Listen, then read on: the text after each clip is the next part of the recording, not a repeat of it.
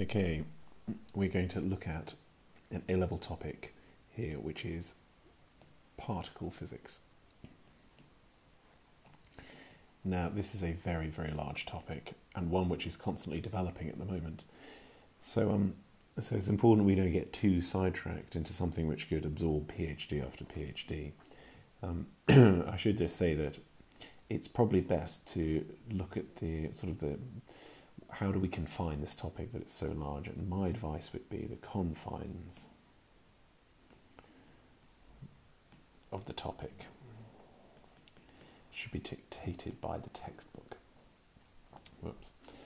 Um, the textbook. So do read your textbooks and have a look at how much uh, information is needed. In some instances, in some exam boards, you need to know about strange quarks, and others you don't need to know about strange quarks. But take a look and see um, what the textbook requires, and that's the confines of um, of it. Good. this is going to be a first lesson, and so therefore, what we're going to do is we're going to have a recap of GCSE ideas. And in addition, we're going to add a few extra ideas before we move into the um, real business of particle physics. Okay, now, first of all, um, with GCSE, they talk to us about the structure of the atom.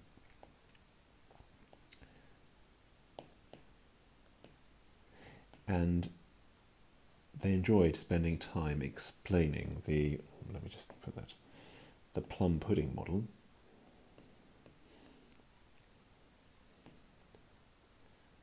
Uh, model. And why that idea, which was a positive dough with electrons randomly distributed in it. Um, and they took time to explain why that wasn't right and how understanding had moved on to the Rutherford model of the atom.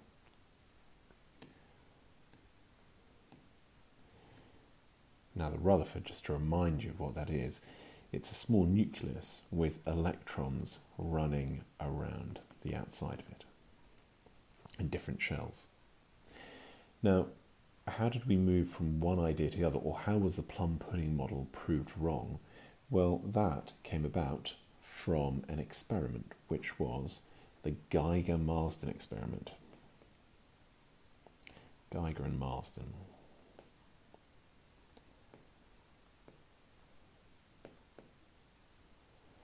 And essentially, what happened here is you're firing alpha particles into gold leaf. Gold leaf meaning very thin, and alpha, which I hope you know is a helium nucleus. And we probably took a long time to uh, explain that at GCSE and explain what was going on. Um, let me just get a video to explain what the Geiger Marsden experiment is. Okay, so here is the experiment. I'm just going to zoom that up so you can see what it is. It's uh, first of all, it's taken from PhET, an excellent website. Uh, do look at them. So this is the PhET animation, and it's called Rutherford scattering. And here are the alpha particles that are being shone onto a piece of gold leaf. And when we zoom up that piece there, you can see this is the nucleus, not the atom, this is the nucleus of gold. And here are the alpha particles. Alpha particles being two neutrons, the two y bits, and two protons, the two red bits. And here is the gold. And when we press play, you will look at the paths which these alpha particles take. Let's take a look at what we've got. There we go. Now I've placed in the paths so you can see, oh, and what I'm doing here is I'm turning up the um, kinetic energy. I'm going to pause that there for a minute. Uh, so I just turned up the, the energy of the alpha particles. And as they come in, they're being deflected.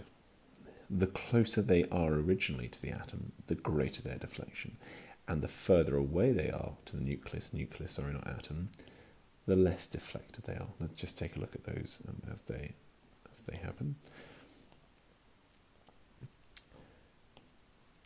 There we go. And some of them make near head-on impacts, and then they get hugely um, uh, deviated.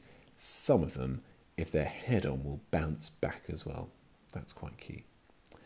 Now let me just uh, pause that briefly because we're going to change the structure now.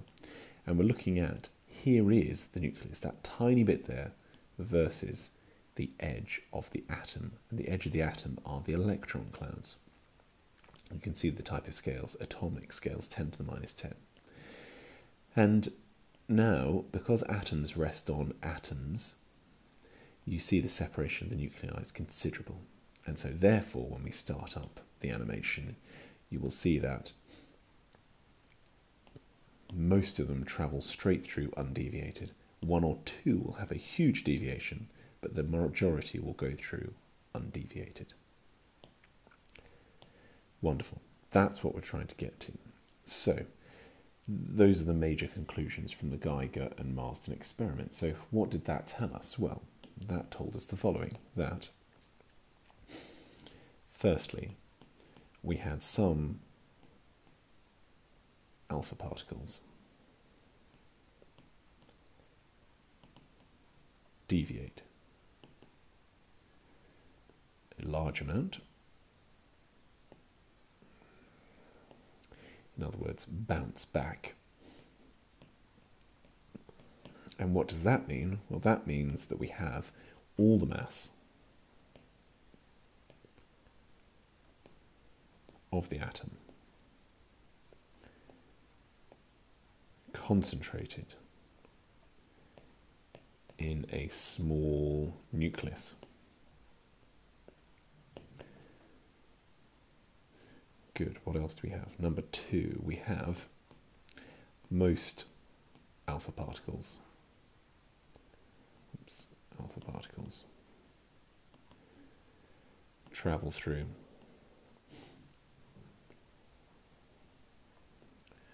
gold undeviated. So, what does that imply? That suggests that most of the atom is empty space. And those two ideas meant that this model would not explain those results. What we did have, however, was this new model that some of the alpha particles deviate by a large amount, so all of the mass were inside a nucleus. So we have a nucleus, point one, and point two the electrons float around the outside, thereby most travel straight through undeviated. Excellent. So that is essentially the GCSE knowledge recapped. Let's just put some sizes and scales to this um, to this atom. It's important that we understand the width of about 10 to the minus 10 meter if we then zoom up the nucleus, you'll probably see, let's take this to be, let's just say it's um, helium. You'll know that we have two protons and two neutrons. Good. And the width of this is about 10 to the minus 15 meters. So we have this comparison of atomic radii versus nuclear nuclear radii.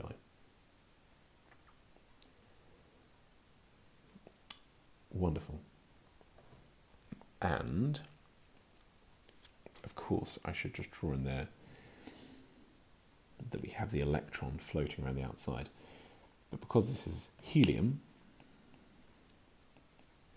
and it's not an ion, we have four, two, the 4 indicating the total number of protons and neutrons, the 2 indicating the number of protons, and if it's a neutral atom, electrons.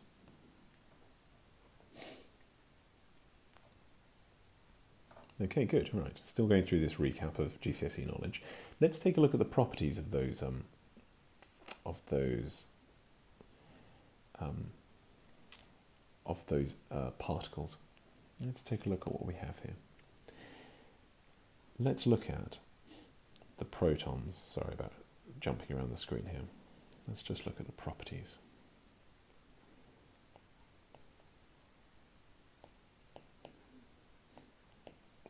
Let's take a look at the proton, the neutron, and the electron. And I'm interested in the mass and the charge. These, of course, uh, should jump to mind. The proton has plus one mass and plus one charge. The neutron has plus one mass and zero charge. The electron has, well, it's something like 1 over 1860 ish, effectively zero mass, but minus one charge. But when I say minus one, plus one neutron, what do I actually mean by the one? Well, that means it is, in terms of mass, it has the same mass as a neutron, these are relative masses, not real. It's not one kilogram's worth. Similarly, that's not one coulomb of charge. These are relative. So if that's a positive charge, then this is a negative charge just by one, and this has no charge. What it's important to note is if that is the relative, what is the real mass? And if that's the relative charge, what's the real charge? In terms of proton, we have 1.673 times 10 to the minus 27 kilograms. For a neutron, 1.675 times 10 to the minus 27 kilograms. Incredibly small, just very subtly different here. The 3 to the 5, that's worth noting for later. And in terms of the electron, we have 9.11 times 10 to minus 31 kilograms. And if we did the maths, the mass of a neutron divided by 1860 will approximately give the mass of an electron.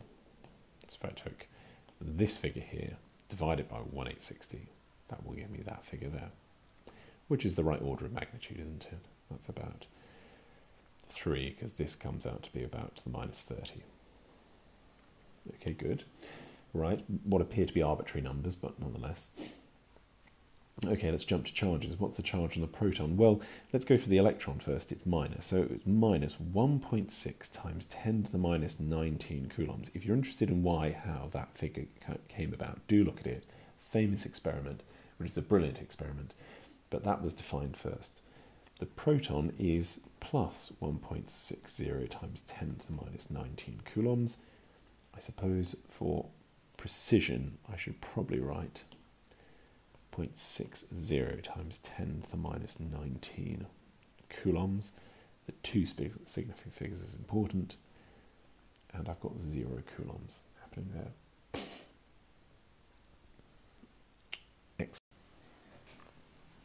So what we want to see next, we want to talk about an, something which you probably haven't come across before, and that is the concept of antimatter.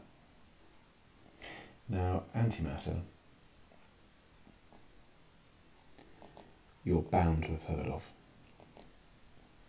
It has gained popularity in science fiction, even reporting in the newspapers as well. You just know what antimatter is.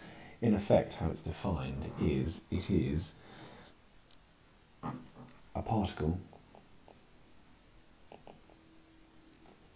with identical mass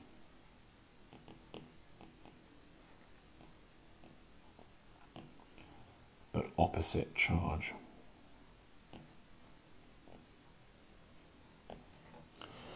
to another um, uh, another particle. So, for instance, if we had a, e.g., if we had an electron,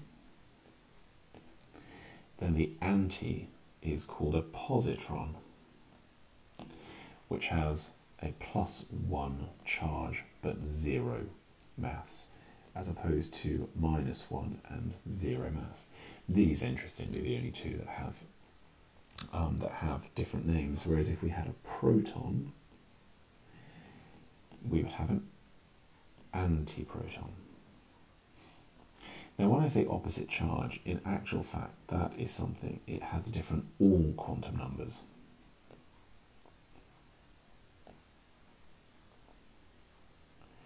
Um, of course, you don't know what that means necessarily, but what it effectively means is it's not just charge, it's everything else that, that, that defines the particle is opposite. And so, therefore, um, it's not as easy just to find something with an opposite charge that has the same mass. I mean, we might find something out there in the particle zoo that does that, but it has all quantum numbers that are different and opposite. But interestingly, what it does is that if a particle plus its antiparticle come together, then they will annihilate. And the annihilation means that the particles disappear.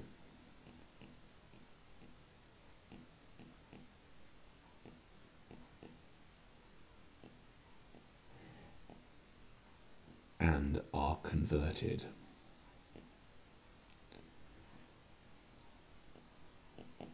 into energy. And that is a total conversion. Other examples, it's not, but that is a total conversion. And the energy often exists as uh, a photon as an electromagnetic radiation. Photons. Good. Right. A little bit of history to this might be worthwhile actually whilst we're talking about it. There's um, initially um, this came about by the work of Paul Dirac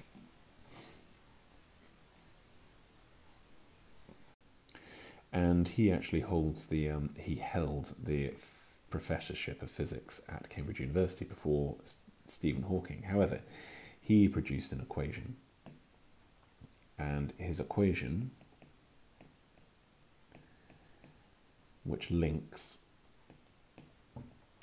quantum mechanics with relativity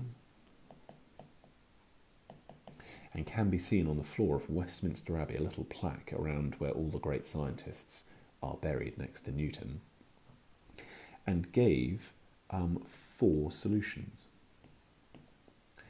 of which two were expected and real, and two were unexpected.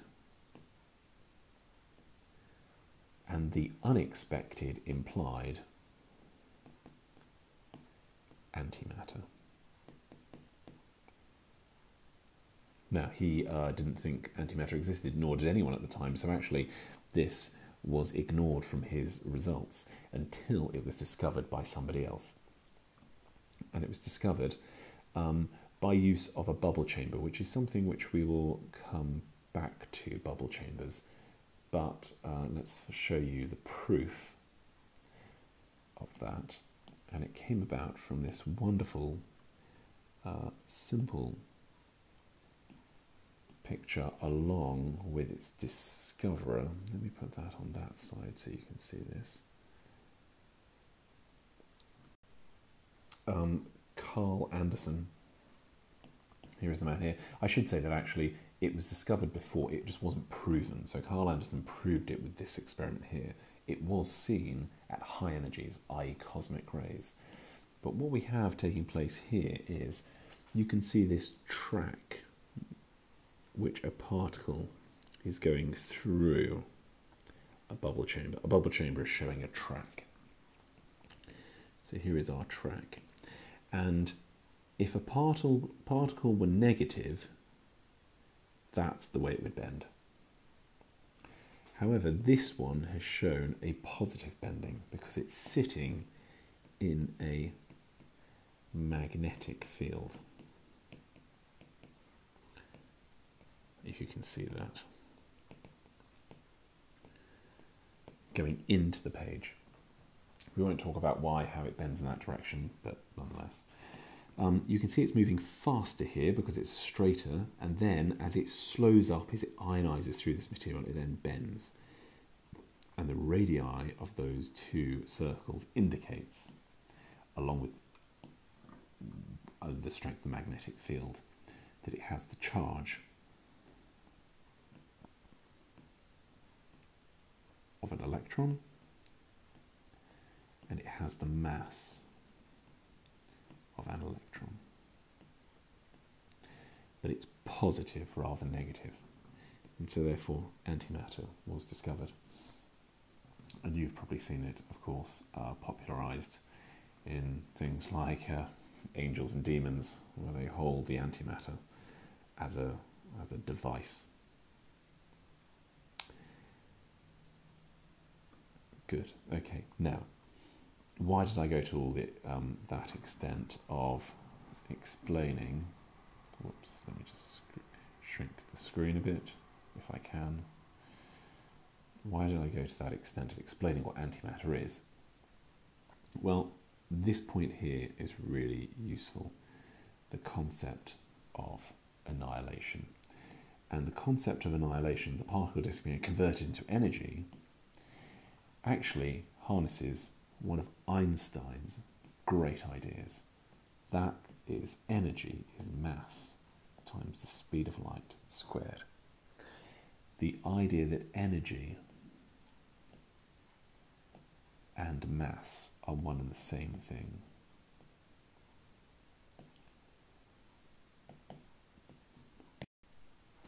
Now, what does that mean that energy and mass are the same thing? Well, that means if we took a quantity of mass and we had a total conversion to energy, the quantity of that energy would be some would be uh, uh, would be equated by this equation here.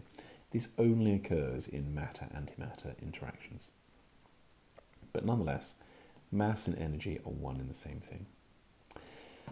Okay, a few. Um, okay, so let's let's bear that in mind first and work out, therefore, what the masses of different particles are in a slightly different way. Here goes. Find some pen. Now, um, if we look at a proton, we know that it has a mass of 1.673 times 10 to the minus 27 kilograms. Okay. Now, what we're saying, therefore, the mass is the energy divided by the speed of light squared. What I've done is I've just done a small manipulation of that equation. Um, so, interestingly, kilograms are also the same as joules per meters per second squared. Technically, they're identical. And so, therefore, rather than writing something as a kilograms, particle physicists like to write things in terms of energy per c squared. So that's what we're going to try and do. We're going to change this mass here into an energy per c squared. So, what do we do first? Well, what is the energy of a proton if it were totally being converted uh, if the mass were totally converted into energy. It would be 1.673 times 10 to the minus 27 the mass multiplied by the speed of light.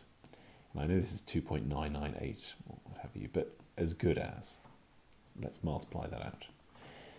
And that should give us something in the order of um, let me just type it into the calculator. That gives us 1.5, 1 times 10 to the minus 10 joules. Wonderful. Uh, not large, but it's a tiny start point, a tiny mass, which has considerably grown in terms of energy.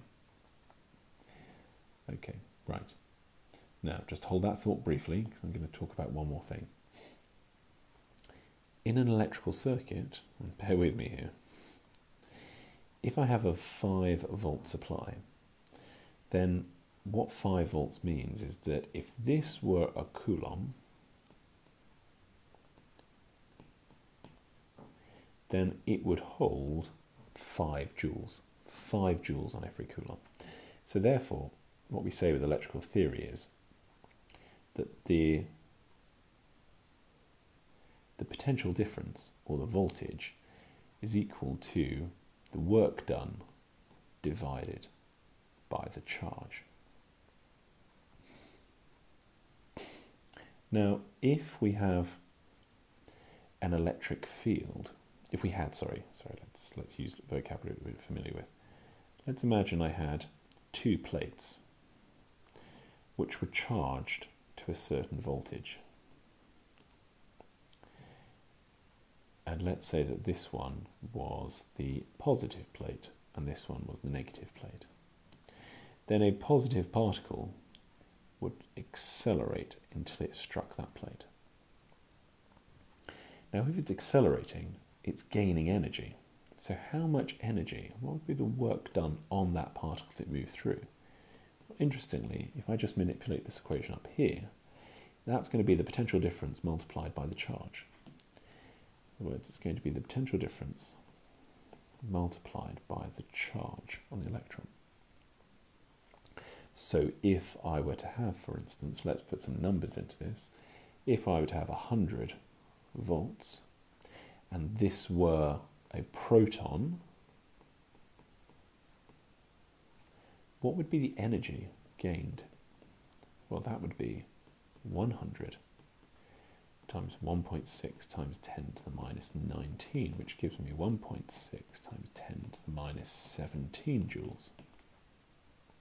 Okay. What happens if I used an electron?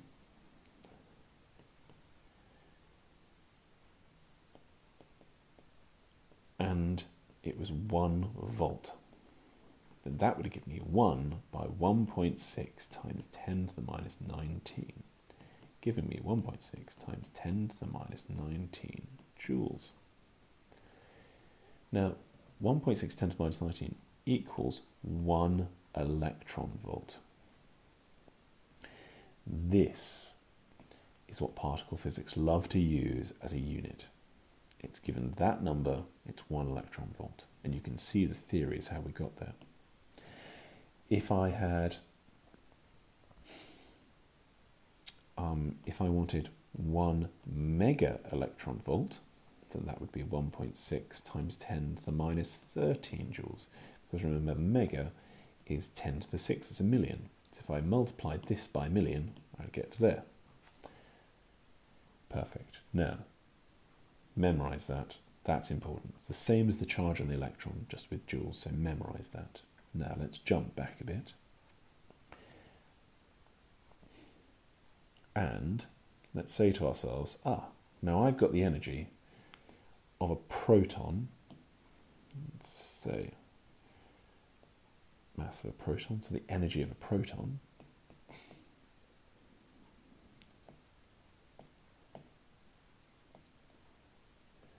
in joules. But now I want the energy in electron volts. So what do I do? Well, I take the energy of the proton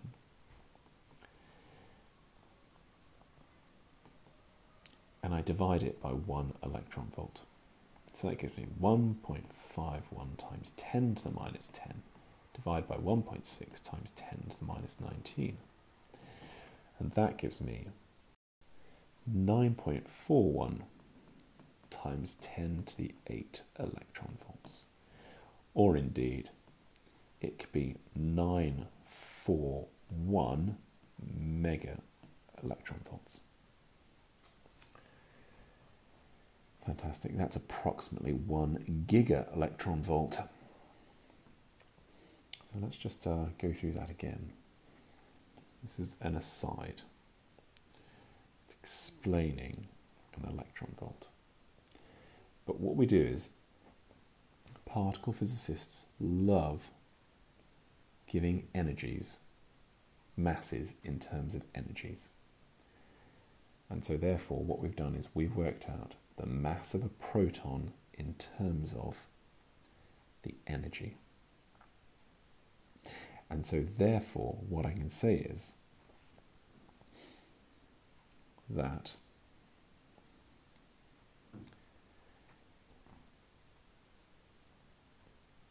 the mass of this is technically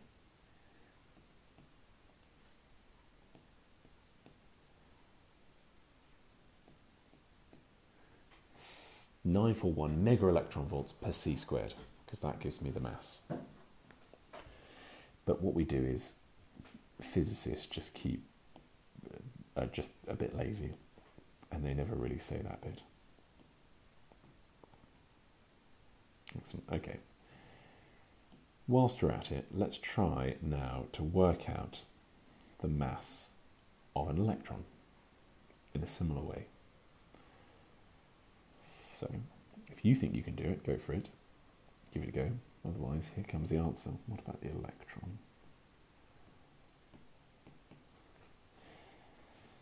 Okay, we have the energy is mc squared, which gives us 9.11 times 10 to the minus 31 by 3 times 10 to the 8 squared. 8.2 times 10 to the minus 14 joules. Now I want to convert that and put that into electron volts.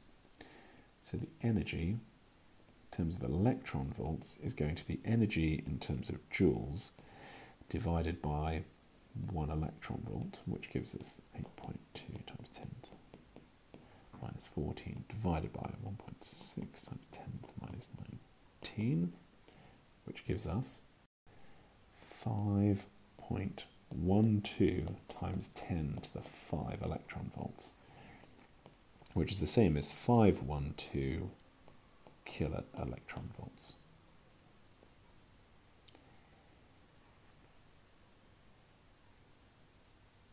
Or to be more precise, kiloelectron volts per c squared would be the mass of the electron.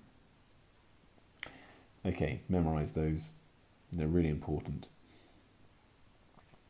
Um, they will get you out of a jam when you need them. 1 GeV, 5 11 rather than 512 keV. Mass the proton, mass the electron. Good. Right, let's bind all that together with one example. So let's say we had an electron and a positron coming together and they both held 100 kilo electron volts of kinetic energy each.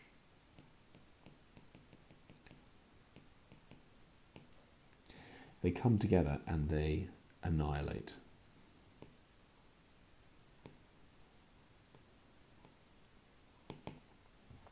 I said before that what happens when they annihilate is they give off raw energy, which is given off by two photons or EM radiation, which is a photon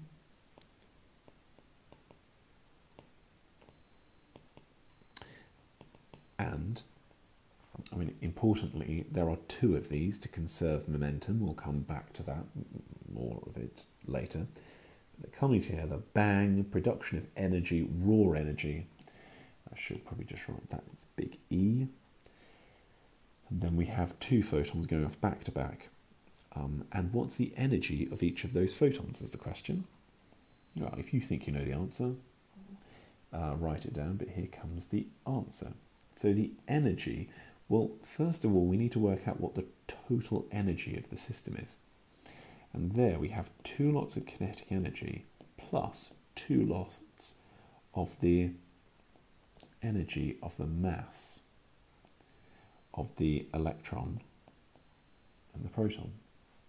So that gives us two lots of 200, sorry, jumped the gun a bit there, of 100 electron volts plus two lots of 511 kilo electron volts. Remember, this is the mass of the electron per c squared. It's quite useful. You see how we're doing this, adding these together.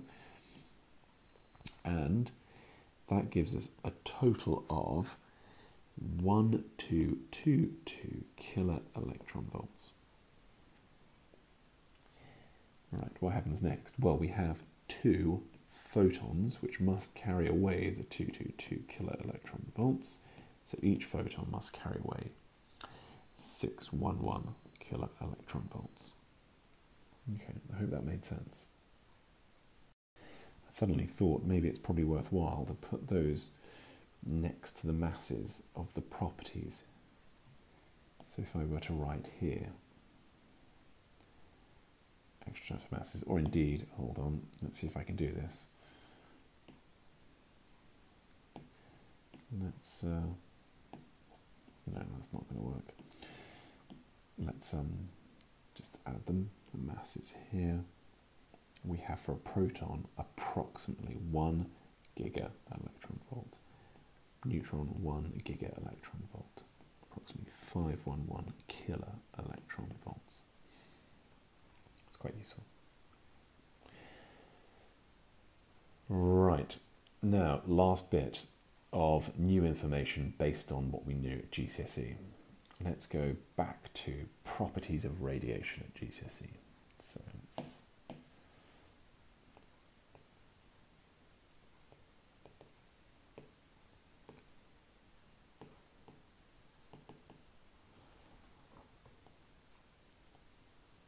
Okay. Three types of radiation. Alpha, which is given the symbol 4 2, but it's a helium nucleus, so it's a 2 plus ion. And the importance of alpha, oh, to describe it, sorry, let's describe it, which is a helium nucleus.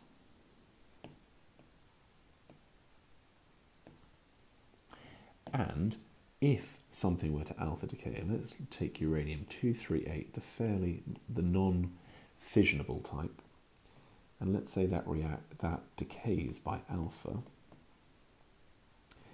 then what we got left? We have thorium, that's 90, I know that, and that's 2, 3, 4. You can see here that those must add up, and those must add up on both sides. Wonderful, what's happened? Out of the nucleus comes two protons and two neutrons, giving it a four total mass comes out, and therefore these reduce. Wonderful. Makes sense. What about beta? A beta is a fast moving electron. Um, and so therefore it's a um, electron or it's got high kinetic energy. Um, but the decay is quite strange. Let's take carbon 14, which I'm familiar with, carbon 6. If we take away a beta, minus 1, 0, then because of the way in which we add these up, 14 plus 0 means I've got to be left with 14 here. But if I were to do the same here, 6 minus 1 must leave me with 7. So seven, so that's actually nitrogen. But what on earth is going on there? Because I seem to have created out of nothing a proton in this reaction. Well, actually what's going on is that a neutron drops out and that is changed into a proton plus an electron. The electron shoots off to become beta the proton is retained in the atom and therefore changes the structure of that nucleus because this number defines what element we have. This number defines whether it's heavy or light, an isotope. So the total mass hasn't changed because you've lost a neutron but you've gained a proton. Okay, now that's, that looks a bit odd. We're going to explore this in much greater depth as we go um, as we go on to the next uh, few lessons. However, for the moment, I want to share with you another bit of history and another interesting development. Okay. Now, when this was observed experimentally, it um, gave rise to a certain number of results. Um, apologies that this uh, picture here is dark. No, let me uh, get another better one for you. Slightly darkened image, but here we go. That's right. Now, what we're looking for, what this shows us here is that in this reaction, let's just take this one. Well, actually, it uses copper 64. Um, you will get beta emitted.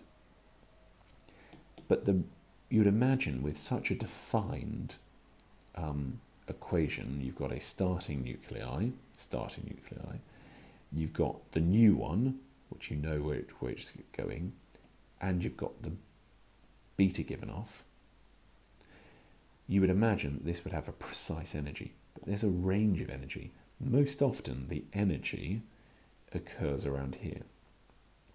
But some has more, some has less. And that didn't make any sense. What they were expecting was, was a precise energy, the energy of the beta particle. So what on earth has gone on here? Well, what it means is, and that's why you've probably got these things shown here, is that they were saying that actually the reason why that the majority of the energy that they're seeing, somewhere around there, sorry for the lack of straight line, this energy here, the remainder of the energy there, I mean, where is it gone? Well, this has been given to another particle.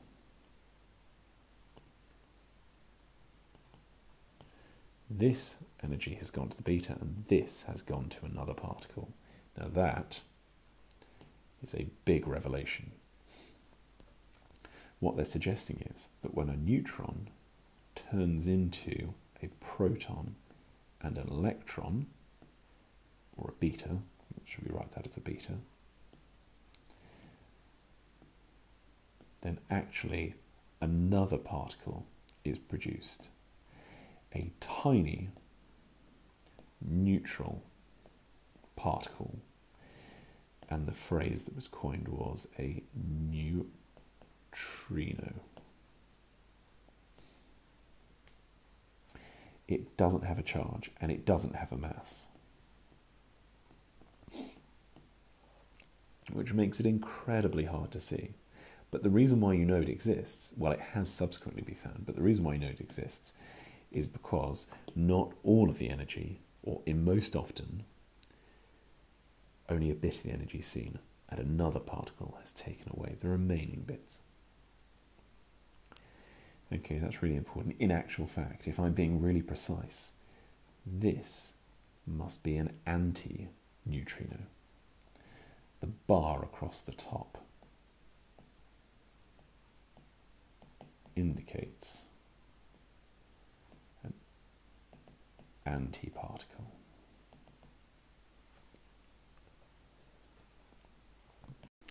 Wonderful. Okay, I think we've covered enough there really in this one lesson. Let me uh, let me just go over and recap for you all where we've come from and where we've got to. Whoops, drag that down. So let's go back to starting out from structure of the atom, you know that plum pudding model no longer exists because the Geiger Marsden experiment, we talked about the results coming through the Geiger Marsden experiment, and that has yielded the Rutherford model of the atom. We then moved on from Rutherford to appreciate that um, the nucleus is made up of protons and neutrons, and how we work those out from um, uh, from the periodic table and these ranges as well. They're really important 10 to the minus 10 versus 10 to the minus 15 versus indeed, I suppose, 10 to the minus 18 meters. We think that's point like the electron.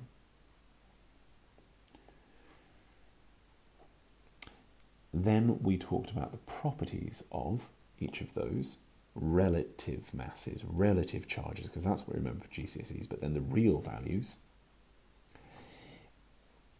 We talked about how antimatter exists historically, um, and a little bit of interesting history there, but more importantly, the ideas of Einstein. Let me attribute this to the great man. And the energy mass conservation idea, and how we could re express the masses of protons, electrons, or any particle in terms of, rather than joules, in terms of mega electron volts per c squared, because we're lazy, we say mega electron volts. And we did a little proof as to what they were and we then talked about what happens if we had an annihilation of matter and antimatter, how we work that out. Finally, we talked about properties of radiation, and most interestingly, what's going on here as a neutron, something subatomic, decays into a proton and gives off a beta particle or a fast moving electron and how that can't just have been the only particle given off, because though you can't see it, there must be this extra particle, the neutrino, the tiny neutral thing, the neutrino, because the energies given off are not exact quantities but a range. Super. I think we will stop there, ready for lesson two later.